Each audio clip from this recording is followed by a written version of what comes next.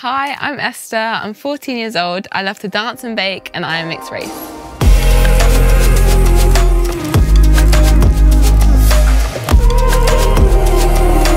My mum's Jamaican and my dad's English. So growing up, I just had lots of diverse culture in my life, and I just loved growing up like that.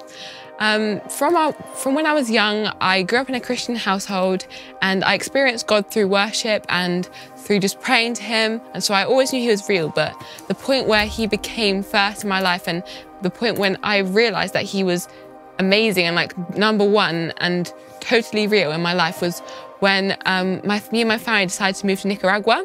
Nicaragua is a country in Central America, um, which, if you might not know, is like near Mexico, kind of near there. Um, so, like the first, the first thing that just made me really realize that God was real was when we our family didn't have that much money, um, but we, we felt that God was calling us to go live in Nicaragua. And so we decided we're just going to buy the tickets. We're just going to buy the tickets. We don't have the money, but we're just going to step out in faith, Lord, and you'll provide it.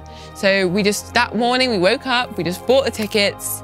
And then that same day, like two hours later, we get a phone call from my grandma. My grandma says, Hi, um, I just deposited this amount of money in your bank account to my dad, and it is exactly, not even lying, exactly the amount, like 64p or off or something like that. But it was literally exactly the same amount as the tickets. And that is just that was just crazy to me because it wasn't like a round number or something. It was like a proper. It was it was exactly the amount, and I was like, whoa, how could this happen? This is not a coincidence. Can't be.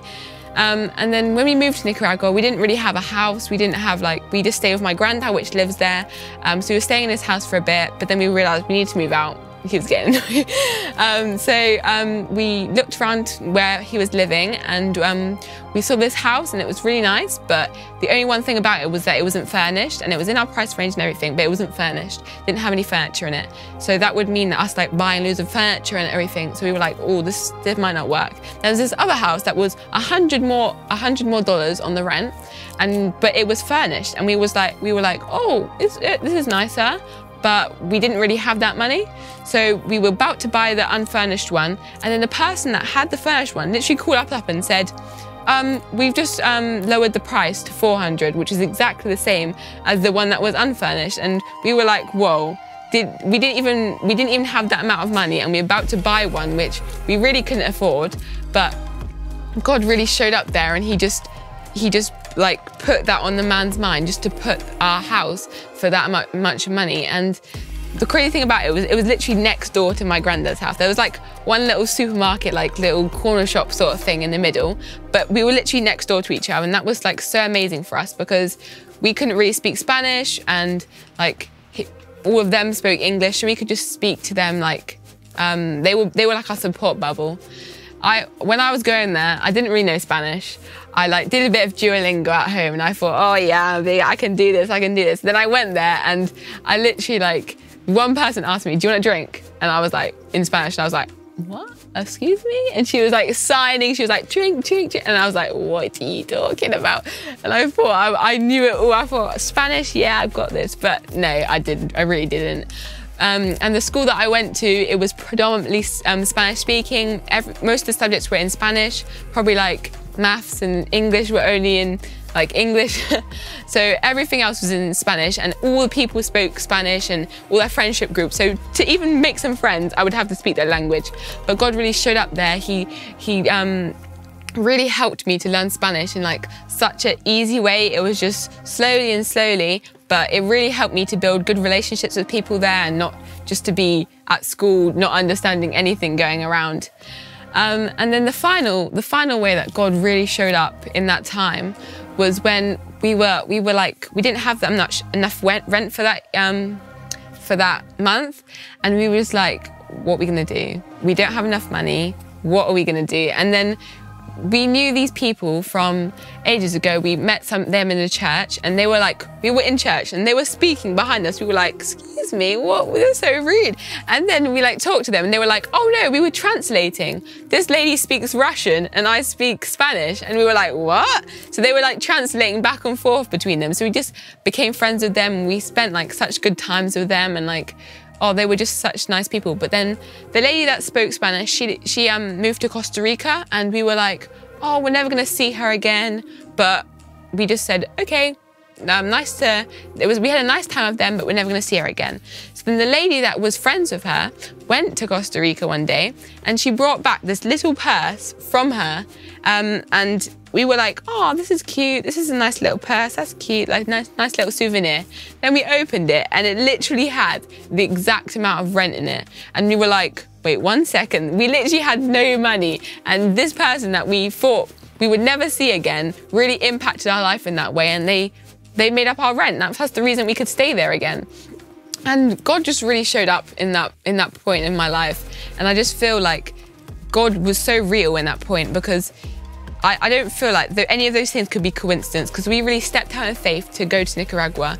We felt God was calling us there, and He made it possible for us to um, to live there, to have all those experiences, and to make so many friends.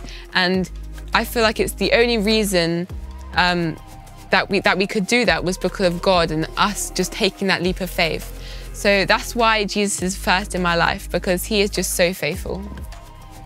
Um, God is currently teaching me just to be kind and loving to everyone, not just to look out for myself and just, it's really easy just to be caught up in your own little world, just to think, I've got this to do, I've got this to do, I've got, and all the different things that sway us in life. But really, just to step out and be kind to someone is such a joy and it can really just um, brighten up someone's day or their week or anything like that. So God has really taught me to be kind and loving in any way possible, even if it's just a smile, even if it's just, I don't know, something easy like baking a cake for something, so, someone, just anything like that. Like God is just teaching me just to be loving and kind because he was he was our servant. He was um he was washing our feet and so we should really be servants to other people to show his love. Um, what I would say to a young person that is struggling to put God first in their life right now is just to step out in faith. Just if that's just asking Him, Are you real? Or give me a sign that you're real, Lord.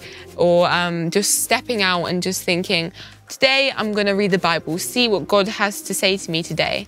Like anything like that, God just taking that leap of faith really encourages um, God to just step into that situation because he sees that you're waiting expectantly for him.